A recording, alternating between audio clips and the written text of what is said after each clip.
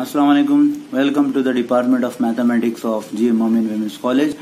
Uh, this is the third lecture of TYBSc Mathematics Paper 3 uh, Metric Spaces. So the first chapter is metric spaces. We were solving the we were solving problems on metric spaces. Uh, so we continue the examples of metric spaces.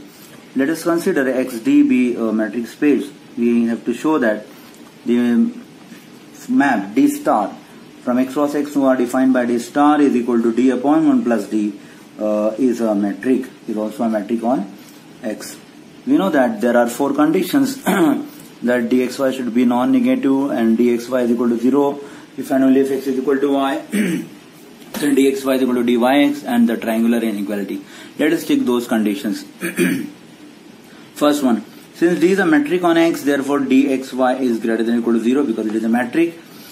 So 1 plus dxy uh, is definitely strictly greater than 0, so it is not 0 and positive and uh, therefore this is greater than equal to 0 and denominator is not 0, therefore this will be greater than equal to 0. Therefore d star is greater than equal to 0 for all xy belonging to x.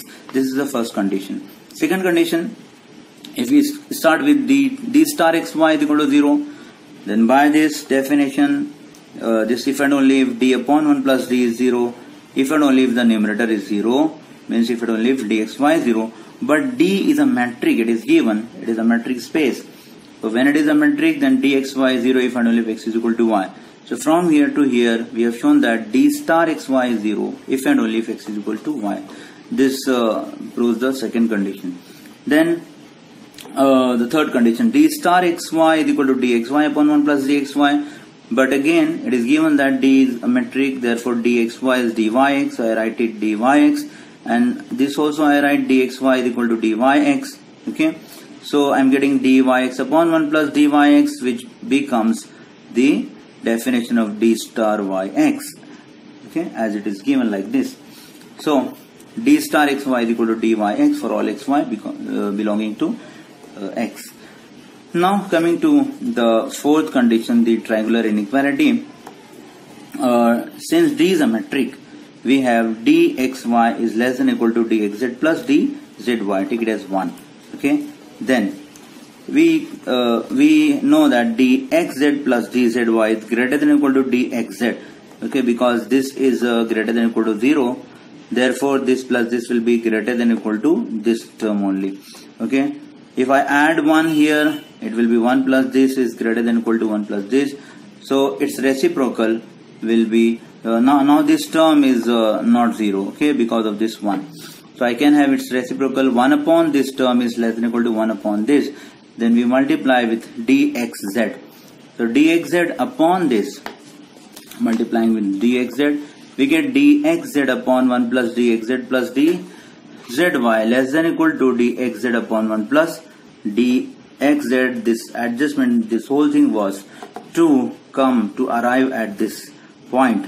So dxz upon 1 plus dxz is by given uh, definition it is d star xz so we got what? Dxz upon 1 plus dxz plus dzy is less than equal to d star xz okay similarly we can show uh, this. How we can start with dxz plus dzy greater than equal to dyz uh, dzy here dzy here dzy and here dzy upon dzy uh, 1 plus dzy.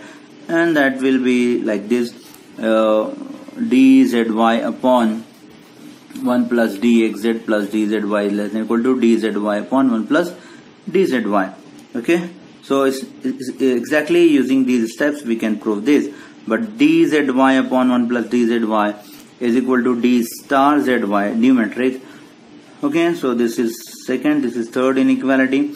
Adding this and this denominator is same. So adding the numerators the left side becomes dxz plus uh, dzy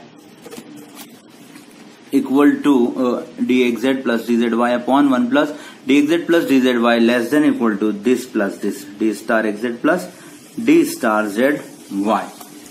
Let us take this as 4 and come to the next uh, one from 1. From 1, what is 1? 1 is this. Since d is a metric, using triangular inequality of d dxy is less than equal to dxz plus dzy using this okay so when we have uh, we we can have say this thing when a is less than equal to b then it can be easily verified that uh, a upon 1 plus a is less than or equal to b upon 1 plus b. Can be easily verified. Okay so using this. When when we have this less than equal to this term then we can have this upon 1 plus uh, dxy less than equal to dxz plus dzy upon 1 plus dxz plus dzy. But then this will become d star xy this is d star xy less than equal to this and from 4 this term we have shown from 4 this term is less than equal to d star xz plus d star zy. And this is greater than here this. So this d star xy is less than equal to dxz plus dzy upon 1 plus dxz plus dzy. And this is less than equal to this. Therefore this is less than d star xy is less than equal to d star xz plus d star zy so all four conditions are satisfied therefore therefore d star is a metric this d star this d star you can say which is d upon 1 plus d is a metric when xd is a matrix. This is one important example. Now come to some examples. Okay. Uh, uh, again we have I have given here one uh, practice problem that if d xd is a metric space then root of d is also a metric where root of d applied on xy is defined as square root of positive square root of dxy. Okay dxy is the uh, value of the metric d. Its square root uh, is here defined as root of d applied on xy. Okay and uh, here is the hint uh, how to prove the triangular inequality. Otherwise all the third first three uh, properties conditions are very simple. Okay this is that hint can be used to prove the triangular inequality now we come to some examples of uh, functions which are not metric which are not metric so far we have seen the problems uh, where we have tried and we have proved that given problem given uh, functions are metric. So see if x is a metric space then show that d square d is a metric so d square is not a metric and maximum of 1 comma d this is not, also not a metric. We'll see. Uh, we will directly uh, prove some condition which is not true. So if you see d square xy is defined as dxy bracket is square this value square. To show that this is not this we will consider example uh, of usual metric on R which is dxy is equal to mod of x minus y. For this uh, we will show that the triangular inequality does not hold uh, for that we consider any three point here. X is equal to 0 y is equal to 2 and z is equal to 1 then uh, we see the values uh, d xy dxy is mod mod of x minus y. So mod of 0 minus 2 is mod of minus 2 is 2 then xz xz then uh, mod of x minus z is mod of minus 1 is 1 then mod of uh, dzy is mod of 1 zy 1 minus 2 x minus y so mod of 1 minus 2 is mod of minus 1 it is again 1 so these are values of dxz dzy dxy okay and we have the function d square as dxy square. So d square value of these points x, y, x, z and z, y are like this. d square xy will be square of this is 4, square of this is 1, square of this is 1. And we see that 4 is greater than, strictly greater than 1 plus 1. So 4 is less than equal to 1 plus 1 is false. It is not true. So d square xy which is 4 less than equal to d square xz d square xy which is 4 is less than equal to d square xz which is 1 plus this is also 1 d square zy is not true therefore triangular inequality fails to hold and if at least uh, if one condition is also not true then the given function will not be a metric so d square is not a metric now to show that maximum of 1 and d is also not a metric for this, we will show that the condition dxy is equal to 0 if and only if x is equal to y is not true here. What is given? Given that uh, d is a metric.